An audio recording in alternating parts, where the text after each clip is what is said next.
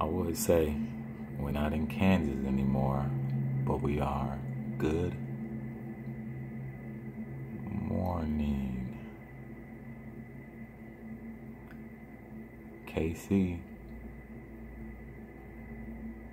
have a great day.